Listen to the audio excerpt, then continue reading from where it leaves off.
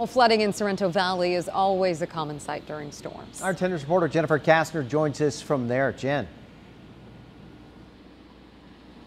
Lindsay, Steve, it's dry right now. It's been dry for about an hour, but the big problems are still the debris and all of the flooding. Look at this. This is Carroll Canyon Road. If you look at the ground, you can see all of the mud the rocks. Over here, we've got road signs that have washed up off of the road, on uh, past over the sidewalk and onto the grass. And if you look across the street over here, you can see the westbound lanes. You've got all of that flooding over there.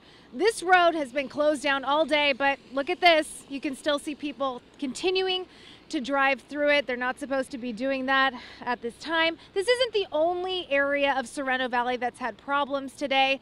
About a mile away from here, let's go to our video. About a mile away, we came across a closure on Sorrento Valley Road at Sorrento Valley Boulevard.